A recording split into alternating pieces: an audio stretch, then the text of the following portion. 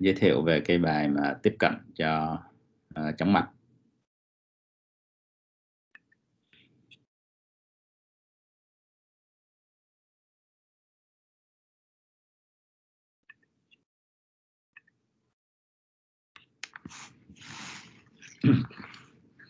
Rồi thì chóng mặt thì các bạn cũng gặp uh, khá là nhiều trên thực tế.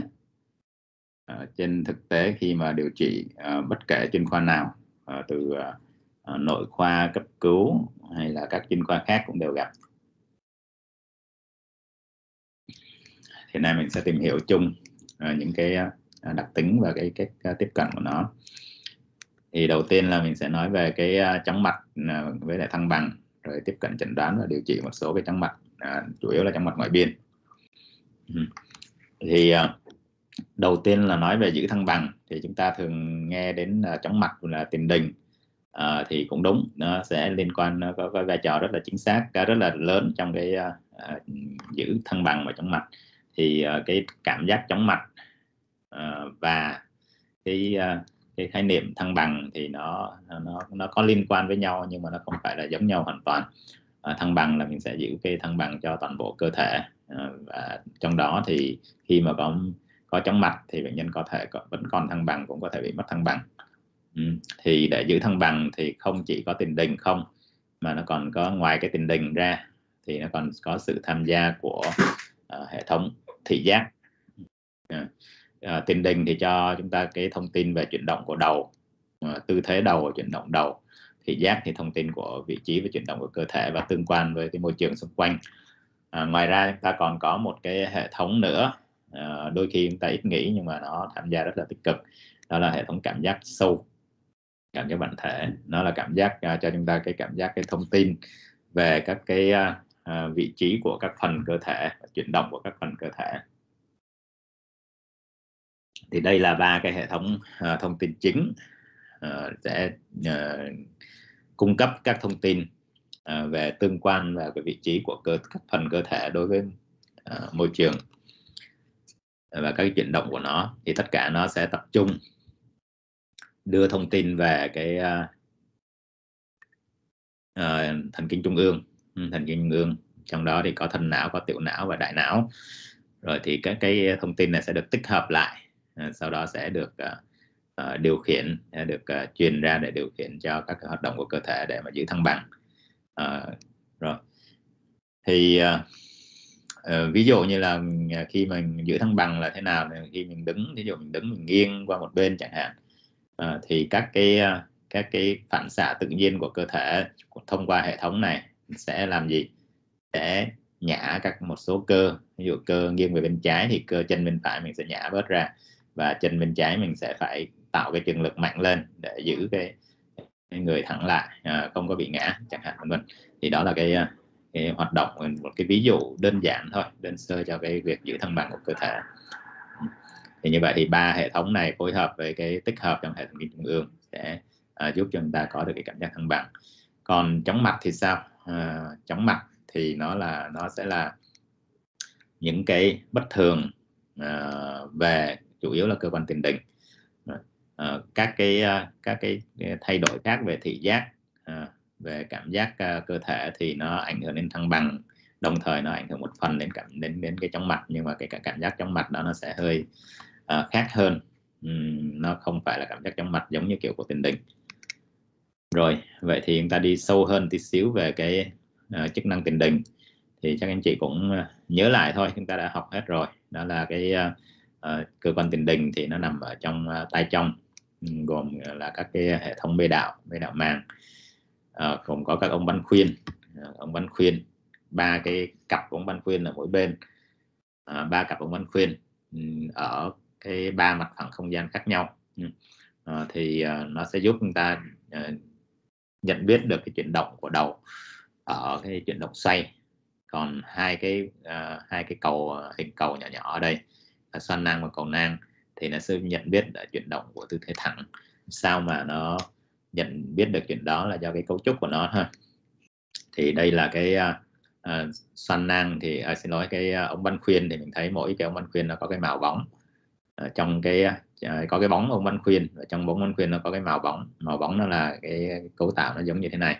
À, nó có cái tế bào nhận cảm là tế bào lông ở dưới ha, và trên đó là có một cái một cái uh, màu lên. Ừ, màu lên nó bằng một cái chất nó dạng gel nó nằm ở đây. Thì trong cái hệ thống ống Văn khuyên này nó có nội dịch. Ừ, khi mình xoay đầu theo một cái tư thế nào đó của cái cái uh, cái ống Văn khuyên theo cái mặt phẳng nào đó thì cái ống bánh khuyên tương ứng ở đó cái dịch trong đó nó sẽ di chuyển à, mạnh nhất. Và nó di chuyển thì nó sẽ tác động trên cái cái cái à, màu bóng này ha. À, nó trên cái chất gel này. Nó đẩy lệch chất gel đi thì nó sẽ tương ứng nó sẽ làm cho cái tế bào lông này nó bị biến dạng nó bị cong đi. Thì khi nó biến dạng nó sẽ phát sung nó phát sung lên nó báo cho cái uh, hệ thần kinh trung ương. Ta biết rằng cái uh, dịch trong ống bánh khuyên này đang chuyển động theo hướng này à, có nghĩa là à, đầu chúng ta đang chuyển động theo hướng nào đó trên mặt phẳng nào đó thì nó sẽ báo cho biết tình hình như vậy. Cái uh, xoan nang và cầu nang thì nó cũng cấu tạo gần gần như vậy nhưng mà nó hơi khác chút xíu. Uh, nó có cái phần cái vết xoan nang đây thì cái cấu tạo nó như thế này. Ngoài tế bào lông nó cũng tương tự nha. Rồi trên nó cũng có chất gel nhưng mà bên trên nó còn có những cái uh, sỏi tai nữa. Thì khi mà chuyển động theo hướng thẳng thì nó sẽ tác động trên cái chất gel này nó làm uh, bẻ cong cái cái tế bào lông và nó phát xung và báo cho báo cho thể thần kinh ta biết là cái đầu đang chuyển động theo cái một cái hướng nào đó. Đồng thời nó có cái cái sỏi tai này để nó giúp ta uh, nhận diện được tư thế.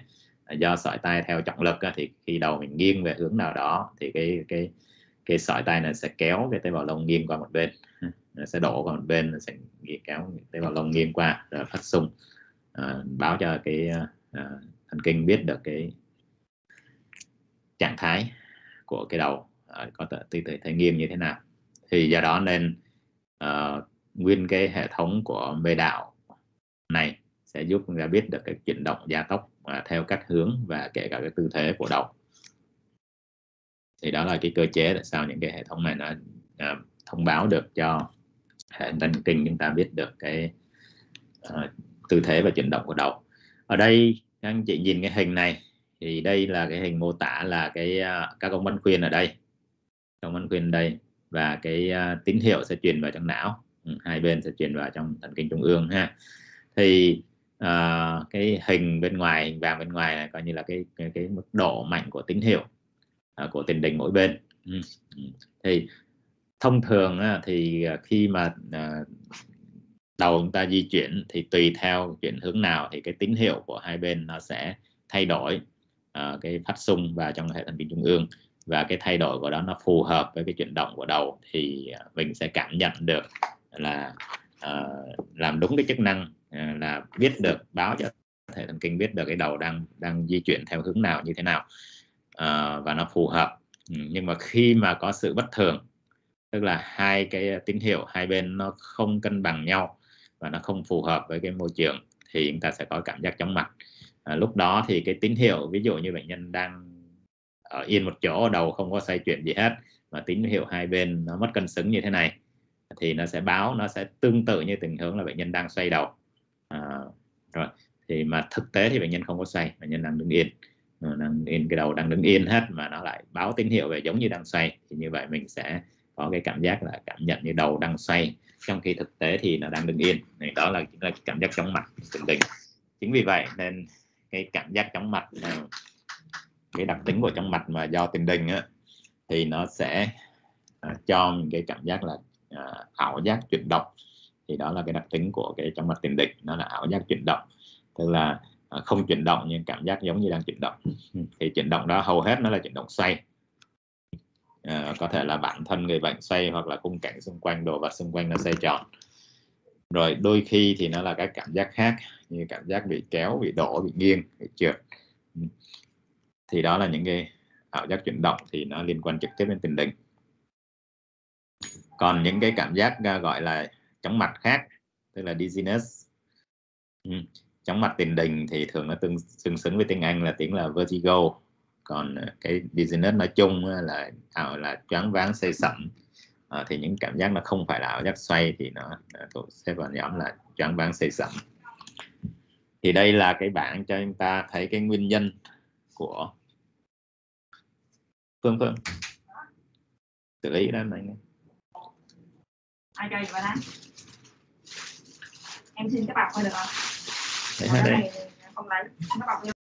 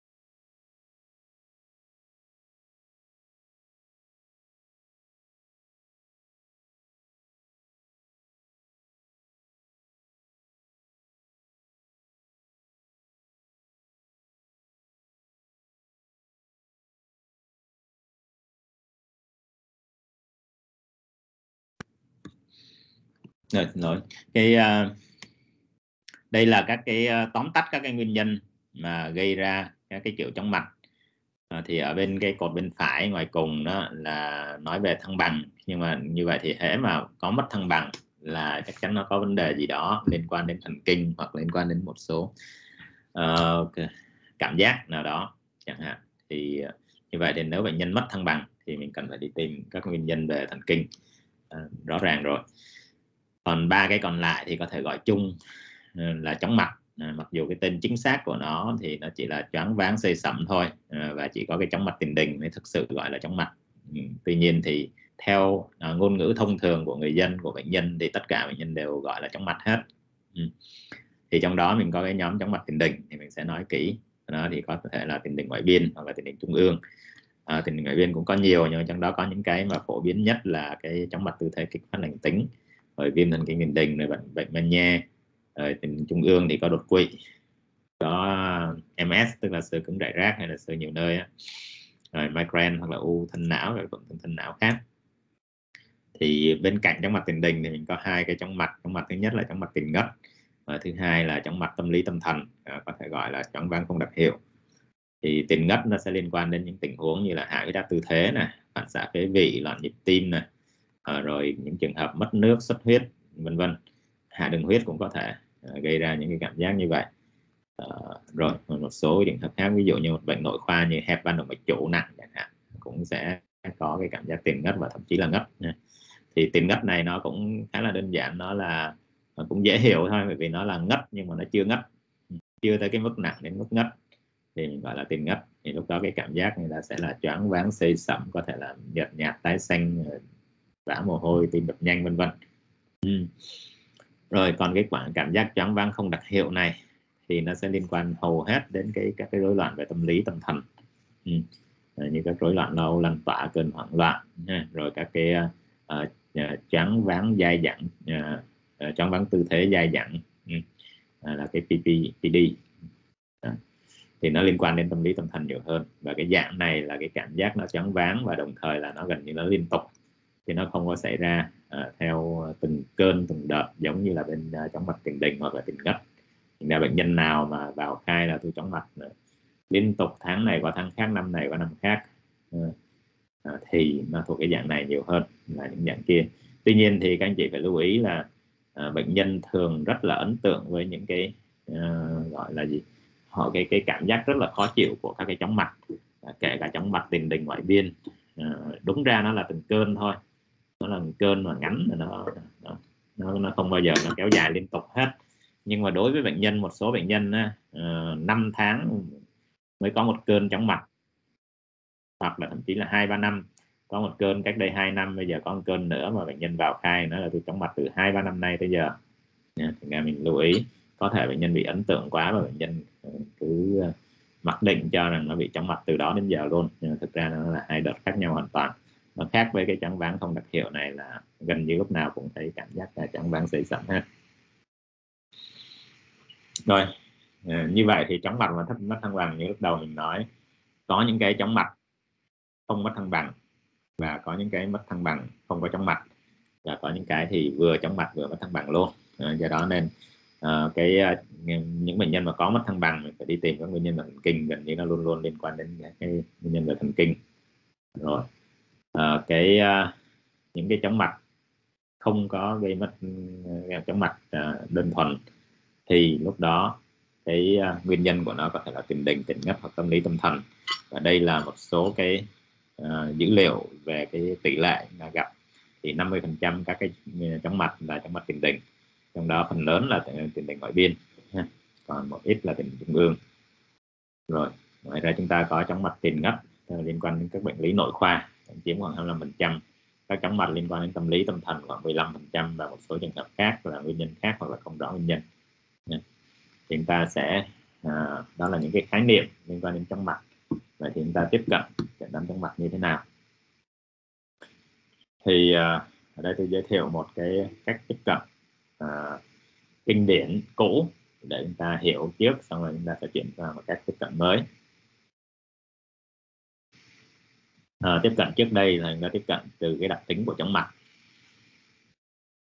Thì uh, sẽ uh, bắt đầu bằng cái câu hỏi là bệnh nhân này chóng mặt này thuộc loại nào?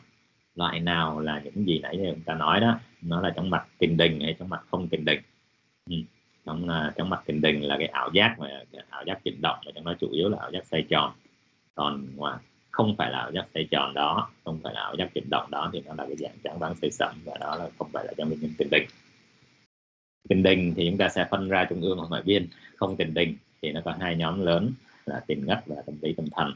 Chúng ta sẽ sử dụng các cái à, đặc tính của người bệnh rồi à, à, như tiền ngất chúng ta tìm các nguyên nhân về nội khoa. Còn tâm lý tâm thần thì chúng ta đi tìm các nguyên nhân về tâm thần. À, còn với cái chóng mặt à, tiền đình thì chúng ta phân định giữa tiền đình trung ương tiền đình ngoại biên bằng cái đặc tính của chóng mặt đặc tính của rung nhịp nhãn cầu và các cái dấu hiệu định vị à, để phân ra là đột quỵ migraine à, cái sơ cứng đại rác MS á, à, là cái nhóm về trung ương hay là những nhóm ngoại biên khác. Thì đây là cái cách phân loại tiếp cận. Mà nếu mình chỉ nhìn cái sơ đồ này các bạn sẽ thấy rất là đơn giản. Ừ, câu hỏi đầu tiên là có xoay tròn hay không? Nếu xoay tròn là tiền đình nếu không xoay tròn đó là cái khác và sau đó mình sẽ xử lý tiếp. Nếu mà tiền đình thì chúng ta sẽ phân định trung ương ngoại biên có những dấu định vị hay không. Để nói nó là trung ương hay là ngoại biên đặc tính à, tuy nhiên thì đời nó không mơ không như mơ như vậy nó không đẹp như vậy. À, khi mà à, tiếp cận theo cách này á nhìn rất là hay nhưng mà trên thực tế nó sẽ có nhiều cái à, khó khăn cho mình. Thì nó nhìn rất là đơn giản nhưng mà khi mà áp dụng thì nó dễ nhầm lẫn và thiếu sót do cái gì? Bệnh nhân có thể có nhiều kiểu chóng mặt cùng lúc à, lúc thì quay lúc thì không quay ờ, à, chóng váng xây sẩm khác nhau à, mình không biết nó là loại nào. Và đó là triệu chứng chủ quan của bệnh nhân mình không biết được. Do đó bệnh nhân nói như thế nào đó thì mình có thể hiểu theo cái phân loại theo cái cái, cái chủ quan của người bệnh. Do đó nó có thể bị nhầm lẫn. Đặc biệt là bệnh nhân khá là nhiều bệnh nhân khá là khó khăn trong việc mô tả triệu chứng. À, người ta không phân biệt được sự có say hay không say. Và thậm chí là nếu mà các, các, các anh chị mà ờ, đặt câu hỏi không khéo thì bệnh nhân nào cũng là trong mặt say hết á. Mình hỏi người ta mình chưa để cho người ta mô tả thì mình hỏi là có say hay không là người ta sẽ gặp say liền, ờ, cái mặt nó quay cuồng hết. Ừ. Thì nó khá là ờ, chủ quan dễ bị sai sót. Rồi bệnh nhân lúc đến khám có thể nó không còn chóng mặt rồi do đó nên, nên những cái lời khai của người bệnh là dựa trên cái cái, cái ấn tượng về cái cảm giác trước đó của mình có thể sai sót trong việc nhớ lại. Rồi nhiều trường hợp mà à, mình uh, phân định đó là tiền đình rồi rồi mình phân định nó là trung ương ngoại biên thì cũng gặp rắc rối là một số trường hợp. Trong mặt nếu mình chỉ dựa trên dấu định vị không thì trong mặt trung ương trong mặt tiền đình trung ương đôi khi nhiều trường hợp nó lại không có dấu định vị. Và chúng ta nghĩ cái đó là ngoại biên thì nó hơi uh, sai sót trong đó có nhiều trường hợp nó dẫn đến cái à, ví dụ như là cái thái độ là chụp MRI hết tất cả chẳng hạn. Ừ, nhiều các bệnh nhân là chóng mặt ờ, khi một lần mà các bạn bị cho bác sĩ cấp cứu nhiều khi gặp ca à, chóng mặt nghĩ là chóng mặt ngoại biên à, điều trị uống cho uống thuốc đi về. Hôm sau nó ra là, là chóng mặt trung ương đó là nhồi máu là đột quỵ chẳng hạn. À, thì một hai lần như vậy thì các bác sĩ Ờ, sửa sai bằng cách là tất cả các bệnh nhân trong mạch vào đều cho đi chụp MRI hết. Thì thực ra có hình MRI thì mình sẽ uh, gọi là có thêm thông tin để, để ờ, an tâm hơn trong việc cái chẩn đoán cái loại trừ của mình. Tuy nhiên thì có hai chuyện. Thứ nhất là chưa chắc MRI nó đã thể hiện đúng hết trong các cái trường hợp chẩn đoán trong mạch trung ương. Thứ hai á, là nó sẽ làm gì? Nó sẽ làm quá tải MRI tốn kém cho người bệnh và quá tải trong cái uh, chụp MRI của các bệnh viện thì ví dụ như là các bệnh nhân chóng mặt vào cấp cứu đều được chụp MRI hết thì tới khi mà bệnh nhân thực sự cần chụp MRI ví dụ như đột quỵ cấp đột quỵ và cần phải chụp MRI hay là cái gì khác đó, thì lại bị những ca kia uh, chiếm chỗ mất rồi. Thành ra sẽ bị chậm trễ trong những cái, cái chẩn đoán và điều trị của mình.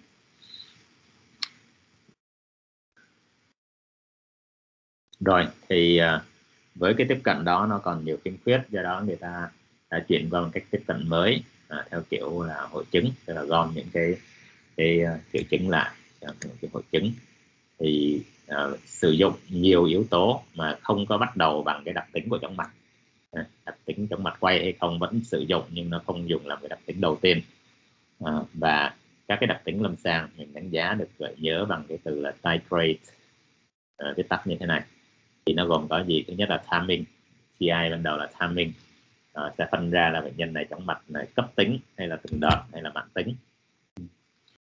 Rồi sau đó là xem là có trigger hay không hay là có yếu tố kích khởi hay không. Kích khởi hầu hết là à, kích khởi về tư thế đôi khi là thị giác hoặc là có cái bối cảnh khởi phát nào đó liên quan đến chấn thương liên quan đến thuốc. À, hay là không có kích khởi gì hết tức là tự nó xuất hiện là tự phát rồi sau đó là cái associated symptom and targeted examination tức là các uh, biểu hiện triệu lâm sàng biểu hiện triệu chứng và những cái kết quả của khám khám có chọn lọc theo mục tiêu. Thì gồm có các triệu chứng thần kinh định vị các dấu thần kinh định vị các test chuyên biệt. À, thì mình đánh giá theo thứ tự như thế này. Cụ thể là thế nào? Tham minh à, ờ, đầu tiên là mình xem xem là cái đặc tính thời gian như thế nào. Thì biết rồi có cấp có từng đợt và có mãn tính trigger có khởi phát hay không thì mình sẽ đi từng bước từng bước để, sau đó mình khám. Khám thì mình khám về thăng bằng về tư thế về dấu định vị và làm một số test.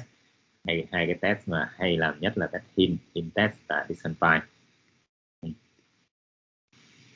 rồi thì mình từng bước ha. À, thế nào gọi là cấp? À, ở trình hình cấp là khởi phát cấp tính đúng rồi. À, cái cái ở đây người ta không cần biết à, đây là chóng mặt thực sự chóng mặt xoay hay là chỉ, là chóng váng hay là loạn trạng. Thì những triệu chứng này một trong những triệu chứng này và chung là chóng mặt là được rồi. Và khởi phát cấp tính và kéo dài liên tục à, xảy ra liên tục kéo dài từ cả, cả ngày cho tới cả tuần. Ừ. à, như vậy thì nó không phải là bệnh cơn ha. Nhân than chóng mặt từ hôm qua giờ vẫn chóng mặt hoài. Thì mình sẽ xếp vào cái nhóm này. Ừ. Từ ngày cho tới tuần. Mình xếp vào nhóm này. Ba cái nguyên nhân phổ biến nhất của nhóm này là viêm thần kinh tiền đình là của ngoại biên ha đột quỵ là của trung ương ha và à, một số trường hợp là ngộ độc thuốc. Này, ngộ độc thuốc. Rồi thì ngộ độc thuốc này có thể là ngộ độc những cái thuốc mà gây độc trên tiền đình cũng có thể ngộ độc thuốc này nó chỉ là những cái tác dụng phụ của thuốc à, không có gây độc mà chỉ gây ra các tác dụng khó chịu thôi ví dụ như các cái thuốc về thần kinh là rất là dễ bị nhiều các thuốc chống trầm cảm thuốc uh, chống động kinh chẳng hạn. À, ví dụ pregabalin các bạn dùng liều uh, dùng một viên có thể bị nhưng mà nếu mà dùng nhiều viên ba uh, viên ngày hai viên một ngày gì đó thì càng bị nhiều hơn bệnh nhân sẽ choáng váng say sẩm. Uh, rất là khó chịu kể từ khi uống thuốc. Người có cái uh, hội chứng tiền đình cấp. Thứ hai là mình có hội chứng tiền đình từng đợt thì những cái chóng mặt nó xảy ra thành từng cơn. Ờ, đã tái đi tái lại. Ừ. Thì cơn này có thể kéo dài vài giây để cho tới vài giờ. Những cái cơn vài giây là cơn liên quan đến trong mặt tư thế kích thích hành tính vài giờ là liên quan đến uh, migraine hoặc là bệnh men nhe hoặc là C, uh, cơn thoáng thiếu máu não. À, rồi một số trường hợp tổn thương thần kinh trung ương gây ra chóng mặt tư thế trung ương. Ừ, thì đây là cái nhóm mà bị đi bị lại thành từng cơn. Nó không có liên tục. Như vậy là mình có cơn giữa hai cơn nó có thể gần bình thường hoặc là gần gần bình thường còn trong khi cái nhóm cấp bên trên là gần như lúc nào nó cũng có. Rồi à, bên nhóm không tiền đình thì một số cái nguyên nhân có thể gặp cái à, từng đợt này đó là ví dụ như hạ huyết áp tư thế chẳng hạn. À, đứng lên thay đổi tư thế à, gì đó huyết áp nó tụt xuống và bệnh nhân có cái cảm giác chóng váng trong mặt. À, ngồi xuống nằm xuống nó ổn trở lại đứng lên nó lại bị nữa. Thì đó là cái nhóm là từng đợt rồi còn một cái hội chứng tiền đình mãn tính nữa là kéo dài nhiều tháng đến nhiều năm. Ha. À, nó có thể do tổn thương tiền đình ở trong trường hợp mà tổn thương tiền đình hai bên à, mãn tính. Rồi hoặc là à, cái này gặp nhiều hơn đó là cái choáng ván à, tư thế chủ quan gia dặn ừ, là liên và các cái loại mà trong mặt à, à, liên quan đến các cái rối loạn tâm lý tâm thần khác. À, thì nó sẽ, nó sẽ nằm cái nhóm mà tiền đình mãn tính này. Rồi. Như vậy thì bước đầu tiên à, các bạn làm sẽ là sắp xếp xem là bệnh nhân này thuộc nhóm nào? Thì các bạn thấy là nhóm ờ, cấp tính sẽ là những cái nguyên nhân ờ, quan trọng nhân trọng, trong đó có đột quỵ Rồi. nhóm từng đợt thì cũng có có đột quỵ nhưng mà dạng cân bằng cái máu não thôi, còn lại là những nguyên nhân ngoại biên rất là ngoại biên ừ.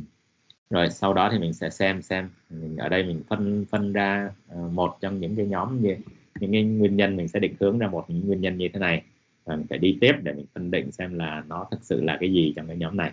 Ừ. rồi, nếu là tiền đình cấp rồi, thì mình sẽ xem đánh, đánh giá yếu tố kích khởi và sau đó là khám. Hội, hội chứng tiền đình cấp thì uh, xem có yếu tố kích khởi không. Thì đối với đột quỵ đối với viêm thần kinh tiền đình thì đó là cái, cái tự phát tự tự nhiên xuất hiện không có một cái kích khởi gì rõ ràng.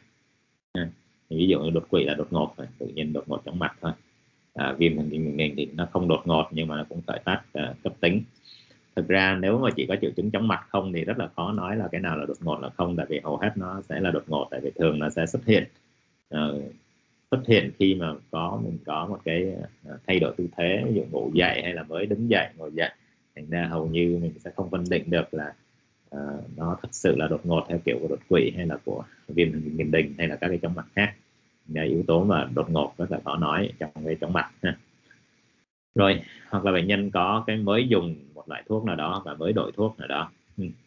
Rồi, thì khi đó à, giữa hai cái nhóm này thì mình khám à, và làm test thì mình sẽ à, phân định giữa ví dụ như là viêm thần kinh đình thì mình sẽ có các cái đặc tính của tiền đình ngoại biên như là niết sắc mút tiền đình à, chóng mặt à, chóng mặt ngoại biên chóng mặt à, niết sắc mút ngoại biên.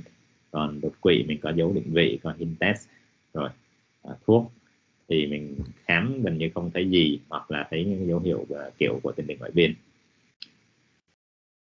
Rồi còn nếu mà hội chứng tiền đình từng đợt thì mình đánh giá giá cái yếu tố trigger làm sao. Hầu hết là trigger tư thế. Các cái trường hợp mà có trigger uh, có thay đổi tư thế thì liên quan đến chóng mặt tư thế kịch phát hãy đa tư thế và chóng mặt tư thế trung ương.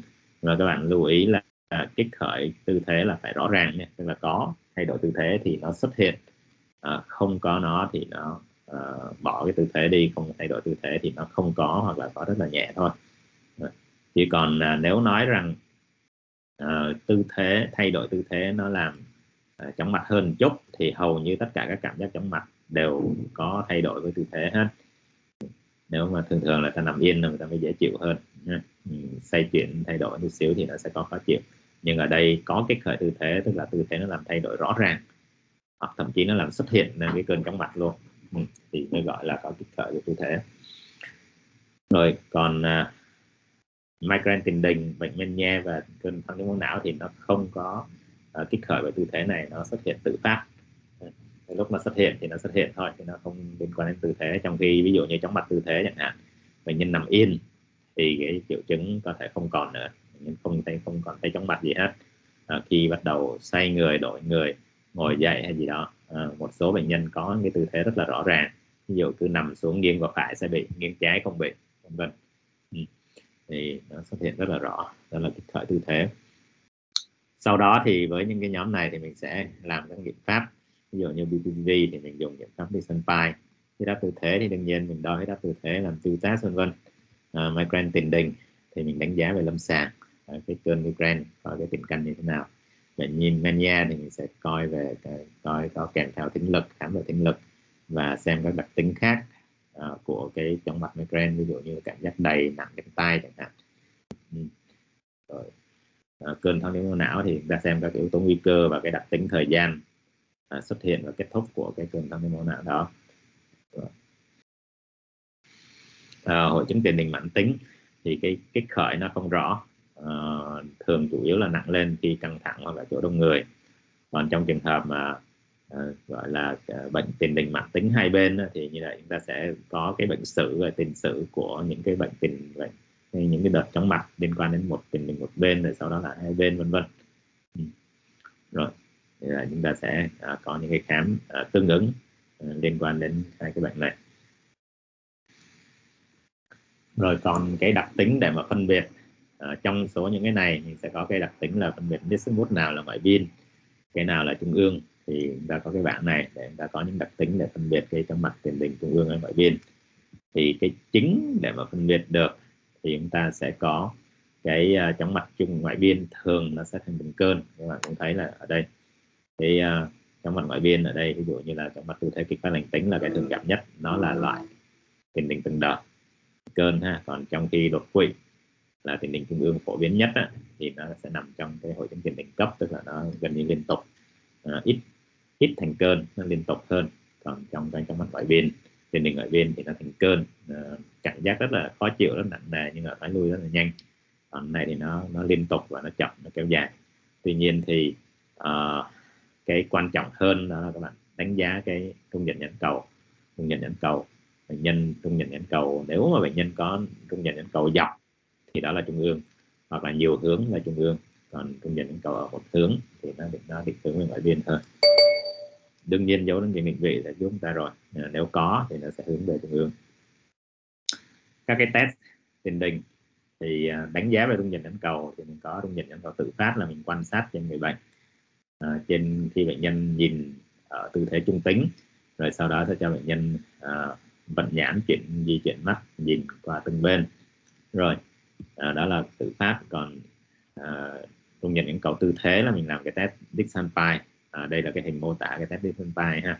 Là cho bệnh nhân ngồi ngồi làm sao để khi nằm xuống thì cái đầu nó sẽ ra khỏi cái thành giường à, xuống. Mình sẽ đỡ cái đầu bệnh nhân và cho nó nằm xuống với cái đầu xoay 45 độ về một bên. Mình sẽ làm từng bên làm bên này rồi làm bên kia nha. À, cho bệnh nhân nằm xuống cuối cùng là nằm ở cái tư thế này. Thì mình sẽ quan sát cái uh, xem triệu chứng chóng mặt của bệnh nhân và quan sát cái mắt xem cái dung dịch nhãn cầu như thế nào. Uh, nếu đó là chóng mặt tư thế kịch phát lành tính liên quan đến quan khuynh bên à, quan khuynh sau thì chúng ta sẽ có gì? Bệnh nhân sẽ chóng mặt xoay tròn khi mà nghiêng cái bên tiền đình bị bệnh xuống dưới và bệnh nhân sẽ xuất hiện cơn chóng mặt và có cái rung dịch nhãn cầu ờ, ngang xoay. Rồi thì những bệnh nhân uh, à, đó mình sẽ đánh giá là trong mặt tiền đình liên quan đến cái ống bắn khuyên ở bên nào ở bên mà cái tay úp xuống. Ừ. à, bên kia thì bệnh nhân sẽ không có. Mình sẽ làm từng bên. Ừ. Rồi à, mình có một cái test lắc đầu à, test lệch mắt. À, sau đó mình sẽ đánh giá cái thăng bằng bằng những con be và khám thần kinh chung. Thì cả khám thần kinh các bạn sẽ khám uh, gần như đầy đủ. Tuy nhiên sẽ tập trung vào khám về chức năng về tiểu não bệnh nhãn à, giống nhìn đôi rồi dysphagia vâng thì cái uh, in test là thế nào?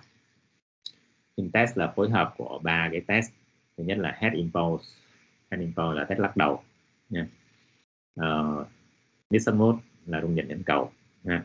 Và test of skill là test về cái à, à, uh, uh, vật nhãn. Rồi.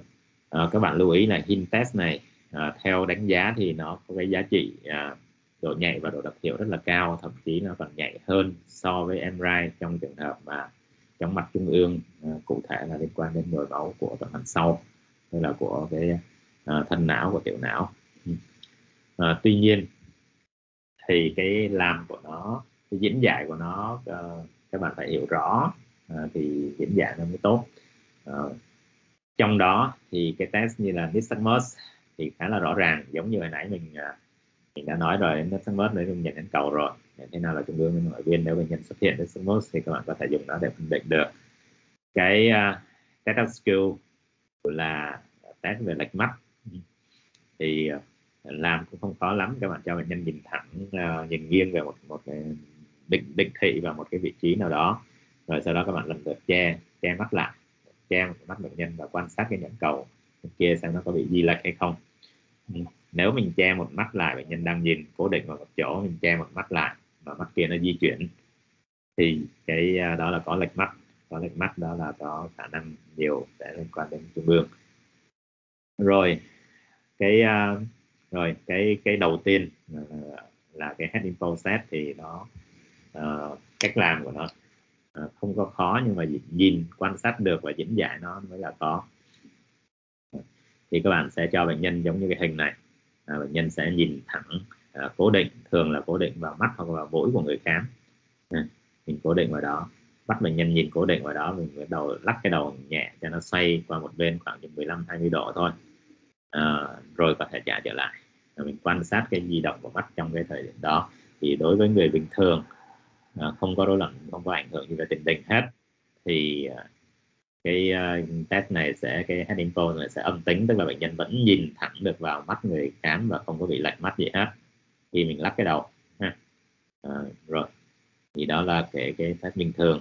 Đối với người bị tiền đình ngoại biên thì khi mình lắc cái đầu như vậy thì bệnh nhân cái mắt sẽ bị đẩy đi theo cái đầu rồi bệnh nhân mới trả ngược trở lại. À, tức là bệnh nhân bị mất một khoảng đẩy ra khỏi cái vị trí không có nhìn vào mắt người khám nữa rồi sau đó mới đánh đánh cái nhãn cầu trở lại. À, rồi thì như vậy là những cái test đó gọi là uh, test dương tính. Tuy nhiên thì head impulse mà dương tính thì nó lại chứng tỏ đó là cái tổn thương tiền đình ngoại biên. À, đặc biệt là nó bị một bên à, đó là tiền đình ngoại biên. Ha.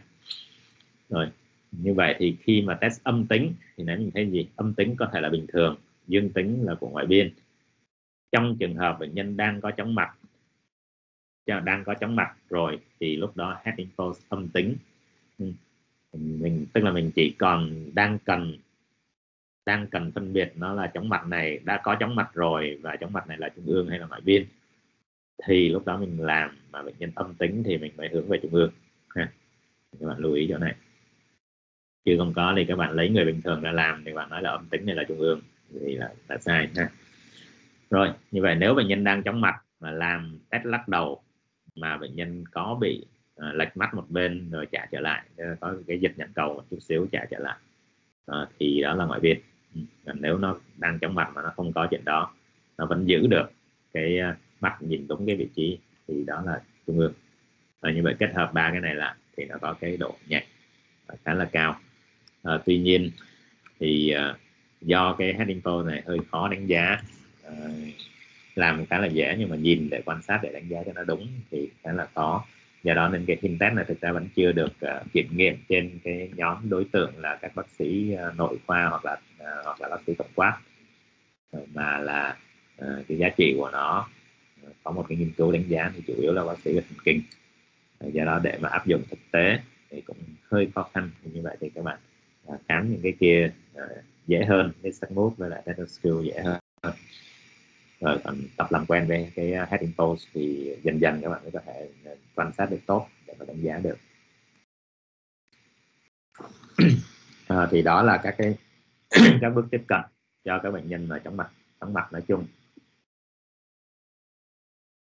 Bao gồm là phân ra làm timing à, cái nhóm nào cấp này hay là từng đợt hay là à, mạng tính sau đó coi có trigger hay không và khám có cái gì bất thường hay không thì đây là một cái trường hợp bệnh nhân 53 tuổi uh, có tăng huyết áp đang điều trị và đang ngồi thì tự nhiên thấy trong mặt xoay tròn uh, mở mắt tăng hơn nôn ói đau ê vùng chán. Hiện diện liên tục giảm một phần khi nhắm mắt tăng khi mở không tiểu tay chân không rối loạn nói. Thì chúng ta sẽ phân loại là gì? Timing đây là trong mặt cấp à, bị và xảy ra liên tục không có thành đường cơn rồi. Ờ, à, trigger thì đây không có trigger lắm. À, nhắm mắt nó chỉ giảm phần thôi. Thì như vậy mình xếp vào chóng mắt cấp thì có thể là đột quỵ có thể là viêm thần kinh đình là hai cái nguyên nhân phổ biến nhất một cái của trung ương một cái của ngoại biên đâu mình khám. Thì ờ, có huyết áp hơi cao. Khi khám thần kinh thì nếp xương xoay cả khi nhìn thẳng và mạnh rõ khi liếc bên trái. Uh, nếp xương này á thì không uh, nghiêng về bên nào hết. Những cái ngôn này không có, có, có đặc tính rõ. Nó là một bên thì nó có thể là ngoại biên ờ, nhưng mà chỉ là có thể là ngoại biên chứ nó không phải là chắc chắn là ngoại biên nhưng mà bệnh nhân lại có thắt đều tay chân bên trái. Đây là cái dấu uh, thần kinh định vị. Nó chỉ điểm vào cái tổn thương ở tiểu não hoặc là cái đường liên quan đến tiểu não. Và như vậy thì cái chẩn đoán của mình là trong mặt cấp. Cái vấn đề của mình là trong mặt cấp kèm thắt đều thì khả năng là tuổi sau và được chỉ định chụp MRI não. Và đây là hình MRI của bệnh nhân. Thì tổn thương ở tiểu não à, bắn cầu nhưng mà ở phần cạnh đường giữa và có tổn thương cả thủy nhọc nữa. Thì nó sẽ liên quan nhiều đến cái triệu chứng chóng mặt. Thì đó là trường hợp về chóng mặt trung ương. Một ca khác là 60 tuổi không có tiền căn bệnh gì đặc biệt hết. À, bệnh sử là sáng ngồi dậy thì chóng mặt xoay tròn nôn ói nằm ngửa hoặc là xoay đầu qua trái thì không có chóng mặt. Xuất hiện lại khi nằm xuống hoặc là xoay đầu qua phải à, kéo dài mỗi cơn khoảng 30 giây. À, thì đi lại như vậy thì cái phân loại timing của mình sẽ là chóng mặt cấp từng cơn à, từng đợt. Chóng mặt từng đợt. Cái trigger này rõ ràng là tư thế. Ở các chỉ có tư thế mà nằm xuống đặc biệt là xoay đầu qua phải thì bệnh nhân sẽ có cơn chóng mặt. Ừ, và nguyên nhân ờ, mình nghĩ đến nhiều nhất là DGPV tức là chóng mặt tư thế kịch tác lành tính. Đôi khi nó là chóng mặt tư thế trung ương nữa. Ừ. Thì uh, khám tết thì không thấy do những bệnh vị nào cũng không có sức mút trong cái khám thông thường không có giảm tính lực. À, nghiệm pháp Disenpai thì dương tính ở bên phải tức là bệnh nhân xuất hiện cơn uh, chóng mặt cộng với là Nixon Wood uh, ngang xoay uh, ờ, khi mà nghiêng cái tay bên phải cho làm những phát bên tay nhưng nghiêng đầu bên phải. Thì với những cái đặc tính này uh, thì mình chẩn đoán là chóng mặt tư thế kịch tăng lành tính rồi thì đó là hai cái trường hợp để minh họa cho các bạn cái cách mình uh, tiếp cận cho bệnh nhân. Vậy thì mình điều trị cái chóng mặt này như thế nào? Đương nhiên là chóng mặt trung ương thì mình sẽ điều trị cái căn nguyên trung ương thì ví dụ như đột quỵ rất là phải điều trị theo kiểu đột quỵ rồi. À, lúc đó chóng mặt nó chỉ là triệu chứng thôi rồi mình có thể điều trị giảm triệu chứng nhưng mà cái chính sẽ là điều trị cái gốc. Ví dụ như đột quỵ cấp mình có thể can thiệp nội mạch lấy huyết khối hay là hay là dùng thuốc tiểu sự thiết vân vân nếu nó còn trong cái thời gian cho phép. Ừ. thì còn chóng mặt lúc đó mình chỉ điều trị là điều trị phụ điều trị triệu chứng. À, hay là migraine thì mình phải điều trị chính là migraine. Rồi còn đối với à, chóng mặt tiền đình ngoại biên thì mình sẽ dùng những cái điều trị triệu chứng nhiều hơn. Điều trị chung thì là bù nước. Ừ, nhất là bệnh nhân có nôn ói nhiều rồi nằm nghỉ ngơi rồi chấn an thì tất cả các tiền đình bệnh tiền đình trung ương thì nó không phải là bệnh lý ác tính. Hầu hết nó là bệnh lý mà tự giới hạn. Chỉ có một số ít là nó kéo dài uh, nặng hơn thôi nhưng cũng không phải là nguy hiểm tính mạng. Ví dụ như bệnh men chẳng hạn. Ừ. rồi và song song đó mình phải phục hồi tiền đình uh, ờ, điều trị theo căn nguyên. Thì uh, đối với ngoại biên thì mình điều trị uh, viêm thần kinh tiền đình mình điều trị bằng corticoid uh, meniere mình có thể dùng lợi tiểu mình uh, tiết chế và cái dạng phổ biến nhất là trong mặt tư thế kỹ lành tính là cái biện pháp tái định vị sợi tai uh, còn lại chúng ta vẫn phải điều trị triệu chứng nếu bệnh nhân có cái triệu chứng chóng mặt uh, rõ và gây khó chịu cho người bệnh mình gồm có các thuốc ức chế tiền đình và các thuốc hỗ trợ tiền đình. Only with head movement does fluid within the inner ear also move. Đây là cái minh họa cho cái chống bằng tư thế kiểm soát bình tĩnh ha. However, should a crystal called an otolith gets displaced into the posterior canal of the inner ear, trong đó thì cái dịch này nó sẽ di chuyển chậm hơn và bản tính nó nhiều hơn. khi nó dừng lại nó chưa dừng ngay do đó nó sẽ làm mất cân bằng cái dịch giữa cái bên có bệnh bên có sỏi và bên không. Thì nó sẽ gây ra cái cảm giác uh, bất cân bằng tín hiệu thì gây ra chóng mặt và những cái sưng mút như thế này rồi thì khi mà chúng ta khám đi sân tay là chúng ta làm như thế này. Đặt cho nằm xuống thì sẽ cho cái sọ này nó trôi xuống do đó nó gây ra mặt và sau đó chúng ta làm biện pháp ép lay để điều trị thì cũng cái bước đầu tiên cũng giống như đi sân tay đây. và sau đó thì mình sẽ cho bệnh nhân xoay thêm một cái góc 90 độ nữa qua bên kia thì mục đích là tư thế này sao để cho bệnh nhân viên đúng theo cái mặt thẳng như thế này. như vậy thì mình cứ xoay lần lượt để cho cái sợi tay nó trôi dần dần dần và nó trở về cái khu vực san ăn đầu nam nơi mà nó có thể ở thời gian dài hơn. không gây ra triệu chứng nữa thì đó là một trong những biện pháp là điều trị cái trong mặt tư thế của tính và là biện pháp tái định vị sợi tay ở đây là biện pháp apply là cái mà thường làm nhất uh, cho cái dạng mà phổ biến nhất tức là của ông Mankin sau. Ha. nếu mà ông Mankin bên thì ta sẽ dùng biện pháp khác. Nhưng mà cái đó ít gặp hơn và khó khó nhận định hơn do đó mình chỉ nói chủ yếu đến cái văn kinh sau thôi. Rồi về thuốc thì mình có các thuốc chống chóng mặt mình có thuốc à, kháng cholinergic à, khá là ít dùng trừ cái scopolamine cái những dán xe thôi. À, dùng thì nó gây khô miệng cái buồn ngủ. Kháng histamine thì mình có dimethylphenate mình có trên thị trường. Còn meclizine thì hiện tại mình không có. Thị trường của nó là anti các thuốc GABA thì ờ, ờ, uh, có là cái nhóm gây có thể gây nghiện như diazepam, clonazepam thì có thêm cái uh, lợi ích là có thể giảm được lo âu của người bệnh uh, liên quan đến chóng mặt nhưng nó lại uh, gây càng buồn ngủ và có thể gây nghiện. Các uh, thuốc chặn kinh canxi uh, sinarizine, cũng có thể sử dụng và các thuốc chống nôn ói. Thì các cái thuốc uh, trên ba cái thuốc trên là cái nhóm thuốc mà ức chế tiền đình nó có cái bất lợi chung là gây ra tác dụng phụ buồn ngủ khô miệng và đặc biệt là nó ức chế tình đình. Do đó nó cản trở cái quá trình hồi phục quá trình tự bù trừ của tình đình. Nên những cái bệnh nhân những cái nhóm đó mình sẽ uh, hạn chế sử dụng. Mình nói đến cái bù trừ tiền đình là cái gì? Thì đây là hình minh họa cho chúng ta cái khả năng tự bù trừ của tiền đình. Thì hệ thống tiền đình trung ương đã có khả năng tự bù trừ. À, ở đây là ở đây là tượng trưng cho cái uh, trên cơ quan tiền đình ha. Và đây là tín hiệu trong cái nhân tiền đình. Ừ, nhân tiền đình đưa vào não thì nó sẽ có cái điều hòa. À, bình thường thì hai bên nó sẽ cân bằng với nhau. Nếu có một cái tổn thương thì một bên sẽ mất tín hiệu.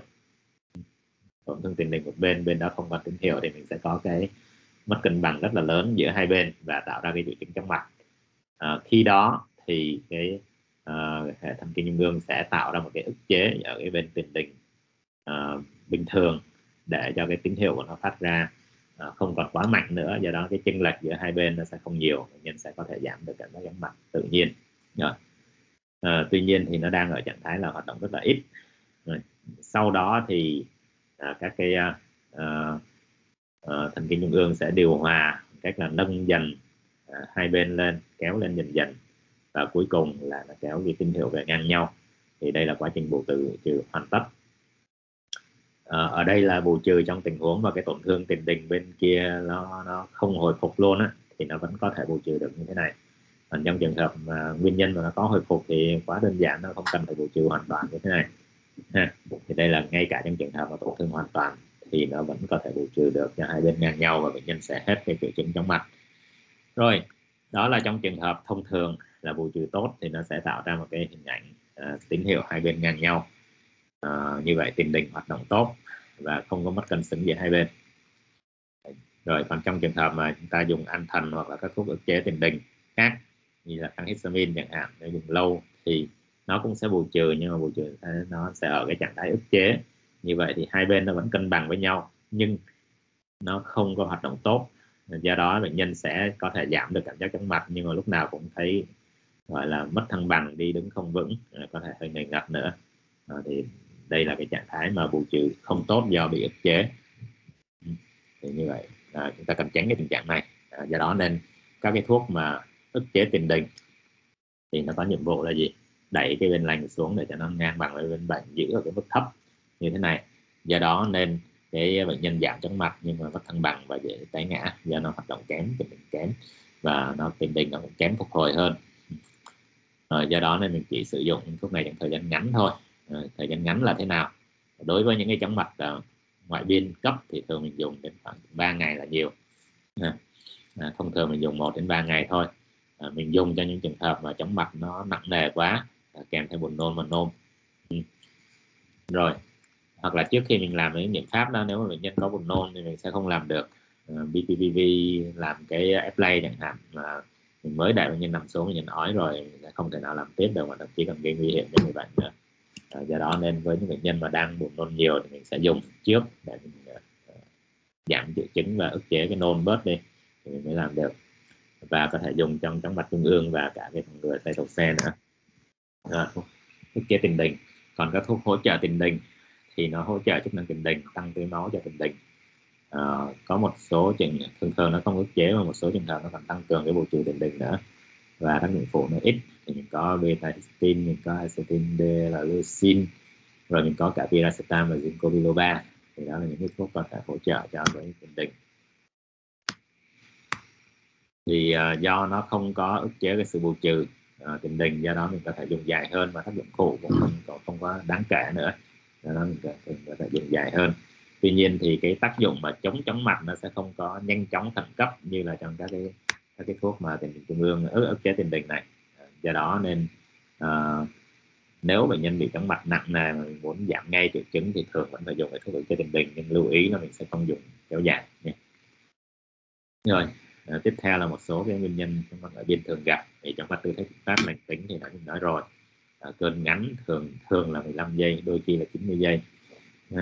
À, xảy ra thời gian ngắn. À, khi khám thì có thể có cái sưng mút ngang xoay à, đôi khi là tự phát nhưng mà thường thường là mình sẽ làm biện pháp đúc tay là có và thường là cũng sẽ rất là ngắn. Và nó có cái hiện tượng có cái hiện tượng gọi là quen à, và mệt. Quen có nghĩa là gì? À, à, quen con quen mệt có nghĩa là à, làm nhiều lần thì nó sẽ mất đi. Và nó có thêm cái tìm thời nữa tức là khi mình cho bệnh nhân nằm xuống bệnh nhân có thể không có xuất hiện ngay tức thì mà một hai giây sau vài hai ba giây sau nó bắt đầu mới xuất hiện ở cái chóng mặt là cái dismos rồi, bệnh nhân à, thực ra bệnh nhân chóng mặt từ thế kỷ phát lành tính thì đôi khi mình không cần điều trị gì hết, bệnh nhân cũng có thể tự hồi phục.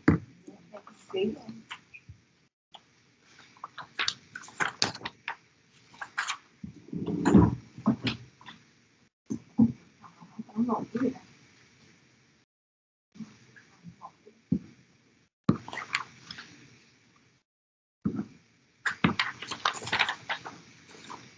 tự nhiên trải nghiệm quá anh bây giờ mình nhận mắt cái người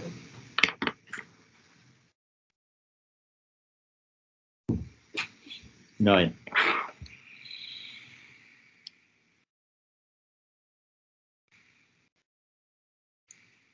Rồi hầu hết là có thể tự hồi phục. À, nhưng mà mình điều trị thì mình sẽ à, thúc đẩy nhanh hơn. Nghiệm hấp play mình làm đối với ống kinh sau là hiệu quả có thể đến 80 đến 90 phần trăm rất là hiệu quả. Tuy nhiên thì các bạn phải có chẩn đoán chính xác và thứ hai là phải có bản lĩnh. Tại vì nếu không thì các bạn uh, không thể nào thuyết phục được người bệnh là uh, chấp nhận cho mình cho nằm xuống xoay xoay cái đầu như vậy. Ờ, tại vì bệnh nhân có bệnh nhân rất các bệnh nhân rất là sợ. Chỉ cần hơi nằm xuống thôi là nó trong mặt dữ dội nó rồi chịu không nổi. Mình, nếu mình không đủ tự tin mình không dám thuyết phục người bệnh. Ừ, nếu các bạn đủ tự tin mà thuyết phục được người bệnh thì cái hiệu quả nó rất là cao rồi thuốc ức chế tiền đình thì mình nói rồi. À, phẫu thuật thì hiếm lắm vô cùng hiếm vô cùng. Trong trường hợp rất là đặc biệt nào đó thôi là gần như hiện tại mình không đang làm. Những cái này nãy mình uh, coi rồi ha. Với viêm tiền đình thì cái đặc tính thì mình biết rồi. Nó là chóng mặt uh, cấp và uh, gần như là liên tục. Uh, nhưng mà nó là kiểu của ngoại biên cái uh, uh, nó có là Nissen của ngoại biên. Uh, uh, điều trị thường là kéo dài và mình sẽ dùng ờ, các cái thuốc ờ, chống ờ, chống viêm. Ở trong đó thì có một số trường hợp nó sẽ liên quan đến virus nhiễm virus như là virus của varicella zoster chẳng hạn. Và rồi mình thấy thì nếu có đó thì phải điều trị thêm cái thuốc chống virus nữa. Rồi à, một trong những cái quan trọng khi mà chẩn đoán viêm cái tiền đình nên là nó hơi nó cùng cái nhóm cấp tính với cái với cái đột quỵ. Do đó mình phải đánh giá kỹ để mình loại trừ cái à, thần kinh trung ương. Cái tiền đình trung ương trong đó quan trọng nhất là đột quỵ. Thì à, điều trị cũng vậy. Mình à, giảm triệu chứng bằng những thuốc ức chế tiền đình nhưng mà sẽ không không nên không dùng kéo dài giống như nguyên tắc chung của mình nha mình có thể dùng corticoid. À, à, vị kháng virus chỉ dùng khi mà mình thấy có những cái đặc tính cái đặc điểm của tổn thương có ví dụ như varicella zoster chẳng hạn mình dùng thôi. Và mình dùng các cái bài tập. À, với bệnh mania thì cái chóng mặt nó từng cơn đồng thời nó liên quan đến cái cảm giác à, đầy nặng của tay một hoặc hai bên và giảm thính lực trong lúc có cơn. Ừ. Và vấn đề là à, bệnh nhân có nhiều cơn tái đi tái lại và các cái à, cái cái cái cái triệu chứng đặc biệt là triệu chứng thính lực nó tồn tại sau khi hết cơn. Nó vẫn còn tồn lại tại một cái uh, mức độ nào đó và dần dần nó tích tụ lại do đó nên bệnh nhân dần dần có thể bị điếc tai. Ừ. Rồi điều trị thì à, mình chẩn đoán hoàn toàn dựa trên lâm sàng và điều trị của mình là điều trị những cái à, bằng những cái thuốc mà giảm cái à, nội dịch. À, ví dụ như là cả dùng lợi tiểu và steroid tuy nhiên thì cái lợi ích nó không hoàn toàn được chứng minh rõ ràng kể cả chế độ ăn chế độ ăn ít muối cũng là cái được khuyên hiện tuy nhiên thì nói về bằng chứng thì nó không rõ nhưng mà trên thực tế thì người ta vẫn áp dụng những cái biện pháp này. Và à, đôi khi những trường hợp mà kháng trị mà nặng quá rồi thì người ta có thể ờ, dùng các biện pháp phẫu thuật. Như này là bệnh uh, tăng huyết họng do phẫu thuật. Rồi thì uh, để tóm tắt lại thì chóng mặt tiền đình là một cái ảo giác chuyển động và chúng ta tiếp cận theo kiểu hội chứng chúng ta không có uh, tiếp cận theo cách cũ là đi bằng cái triệu chứng cái đặc tính của cái uh, chóng mặt đi từ từ triệu chứng chóng mặt đầu tiên nữa. Và chúng ta sẽ xem cái hội chứng cái này là kiểu của cấp tính kiểu của từng đợt hay kiểu của à, từng đợt đó là tự phát hay từng đợt có kích khởi và à, mặt hay là từng, từng mặt tính. Rồi để để phân định nó xem những cái nhóm nguyên nhân cụ thể và phân định vào các cái nhóm là có tổn thương tương ương hay không. Và do đó thì chúng ta điều trị theo căn nguyên à, sử dụng các cái thuốc chế tiền đình thì có thể dùng nhưng mà khá là hạn chế và thời gian thì ngắn hạn thôi. À, dùng thuốc chế tiền đình dùng thuốc uh, hỗ trợ thì có thể dài hơn. Thì à, đó là những gì tôi muốn truyền tải với các bạn trong ngày hôm nay. Thì à, tiếp theo thì các bạn à, xem mình có những cái thắc mắc những câu hỏi gì thì mình có thể trao đổi. Rồi mời các bạn.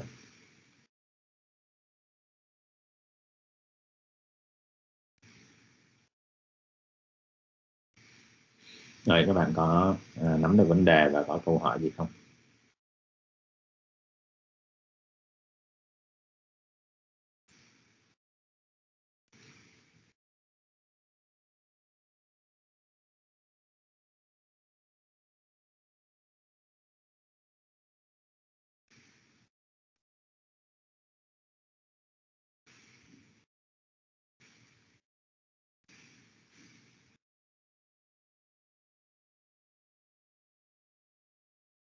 Rồi các bạn cứ hỏi thoải mái. Nếu uh, ai có câu hỏi mình có thể uh, bật mic lên và nói chuyện ha.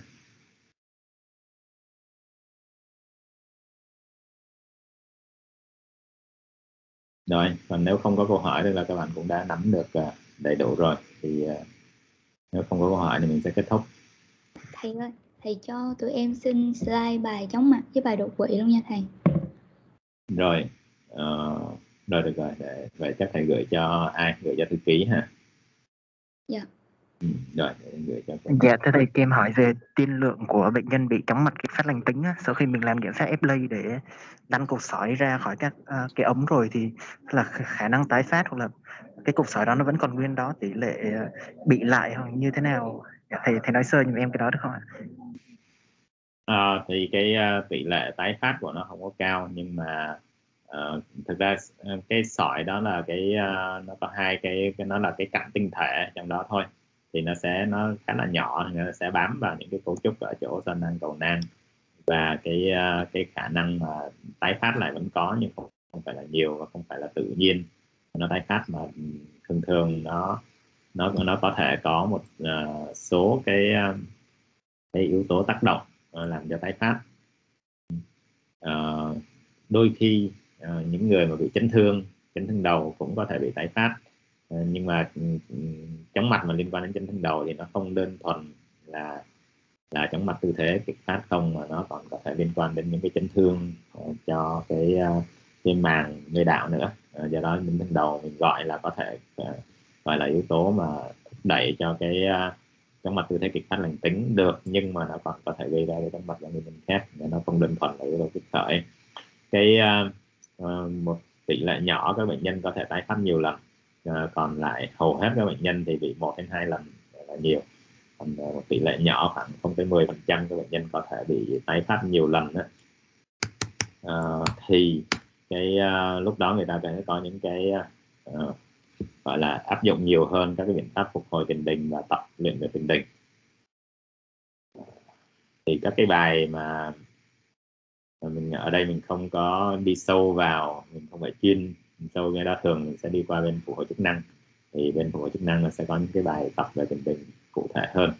Thì đối với những bệnh nhân mà tái đi tái lại nhiều á, thì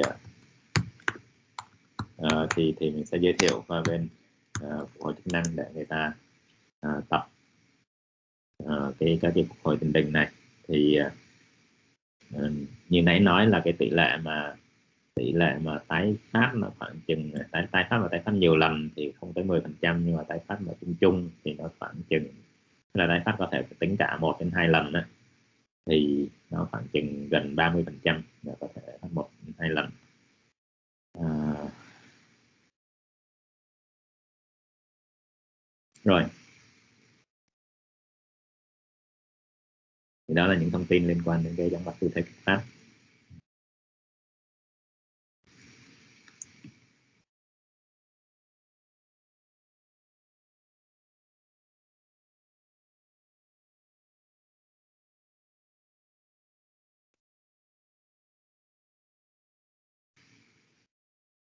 Rồi các bạn nào có câu hỏi gì thêm?